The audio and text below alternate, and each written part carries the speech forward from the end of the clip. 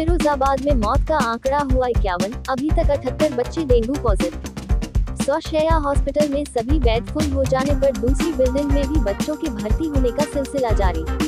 नई निर्माणाधीन बिल्डिंग में लगाए गए सौ बेड मेडिकल कॉलेज में इस समय चार सौ पचहत्तर मरीज़ हैं भर्ती, जिनमें बासठ मरीज़ नई बिल्डिंग में हैं और बाकी सौ शया की पुरानी बिल्डिंग में भर्ती हैं। मौत का आंकड़ा इक्यावन के पार।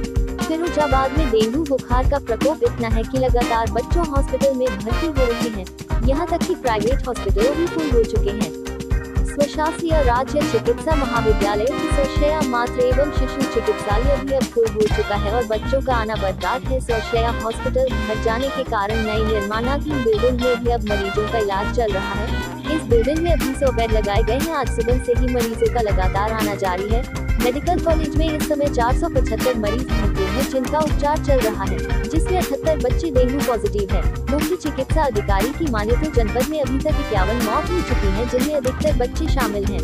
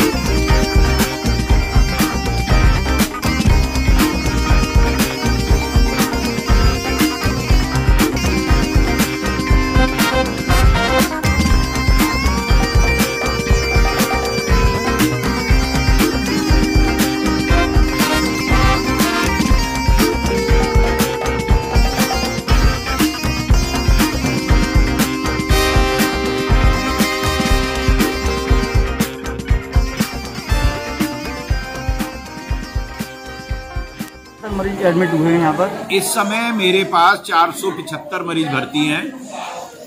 जिसमें बासठ मरीज़ हमारे जो निर्माणाधीन नया भवन है, उसमें भी भर्ती हैं। बाकी इधर पुरानी बिल्डिंग में भर्ती हैं।